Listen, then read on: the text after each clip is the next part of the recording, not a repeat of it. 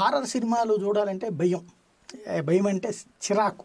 ఏ ఇన్ని దెయ్యాలో భూతాలో ఇవన్నీ వాటిట్లో ఉన్నట్టుండి ఓ నోళ్ళల్లో నుంచి డ్రాకులాలు ఇట్లాంటివి అంటే జరి ఉండేగా చచ్చే కాదు అనవసరంగా ఇది భయపెట్టడానికి వాళ్ళ ఇది అనేటువంటిది ఫీల్ అవుతుండేవాడు కానీ నిన్న ఇది ఆ మధ్యన ఏదో ఒకటి ఒక వీడియో కొంత చూస్తే ఒక నాలుగైదు నిమిషాలు వచ్చింది. జాంబియాస్ ఏయో సంథింగ్.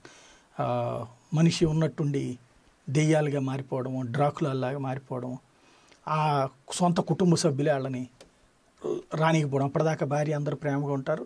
ఈ భార్యకి ఏదో దోమ సాలిడ్ ఏదో కొట్టడం. ఆ తర్వాత తన కళ్ళల్లో నుంచి ఏదో మెరుపుల్లాగా వచ్చేసి ఆ పైన తను అట్లా అవుతుండగానే వెంటనే భర్త పిల్లల్ని తీసుకుని అవతల గదిలోకి వెళ్ళిపోయి తనకి తలుపేసేసి ఈ అమ్మాయికి కాసేపేమో ఆ దెయ్యం లోపల నుంచి వస్తున్నప్పుడేమో కళ్ళంతా ఇదిగాను ఆ తర్వాత మామూలుగా ఉన్నప్పుడేమో ఆవేదనతో మొహం పెట్టినటువంటి పరిస్థితి చూసినప్పుడు ఈ ఓవర్గా అనవసరంగా భయపెడతాను. కానీ ఇవాళ పరిస్థితి చూస్తుంటే రేపు ఏంటి అనే భయం వేసిపోతుంది. ఎలాంటి పరిస్థితులకు వెళ్ళిపోతున్నాం మనం? నిజం. ఒక సోషల్ డిస్టెన్స్ ఒకళ్ళకొకళ్ళకి దూరంగా ఉండటం అనే సిస్టమ్ నుంచి ఇప్పుడు భద్రత లేని బ్రతుకుల్లోకి వచ్చేసాం. ఇప్పుడు ఇవాళ రోజున నిన్న ఏంటి ఇక్కడి నుంచి హైదరాబాద్ నుంచి పెద్ద ఎత్తున బయలుదేరటం. ఏంటి అంటే ఇక్కడ హాస్టల్లో నుంచి ఖాళీ చేసేయమని చెప్పి వాళ్ళు చెప్పడం. అక్కడి నుంచి మా ఊళ్ళకి వెళ్ళిపోతామని వీళ్ళందరూ పోలీస్ స్టేషన్కి వెళ్ళడం. పోలీసులు అక్కడికి పోండి అని చెప్పి అటు పంపించడం.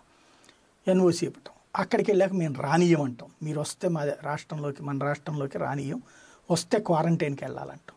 ఇది ఒక వైపును చూస్తే ఏంటి పరిస్థితి ఇక? నిజం ప్రికాషనరీ భయమే. ఇప్పుడు క్వారంటైన్కి వెళ్ళకపోతే వీళ్ళల్లో నుంచి ఎవరు క్యారీ చేసి వచ్చారో తెలియదు అనేటువంటి భయం ఒక పక్కన.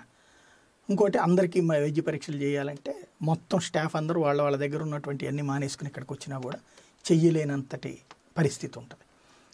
ఇంకోటి ఇమ్మీడియట్గా తేలేదు కూడా కాదు ఇట్లో ఇప్పుడు వెళ్ళిన తర్వాత నాలుగు ఒక పది రోజులకు పదిహేను రోజులకు బయటపడ్డాయి కదా కేసులు.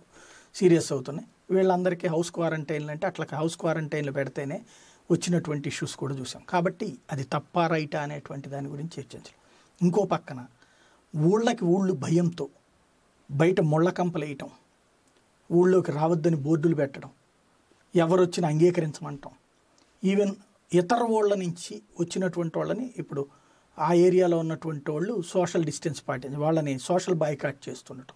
ఇట్లాంటి పరిణామాలు. ఇవన్నీ చూస్తుంటే ఒక రకంగా ఆ సినిమాలన్నీ కలిపితే ఎట్లయిందో అట్లా అయిపోతున్నామా మనం. కానీ తప్పని పరిస్థితి.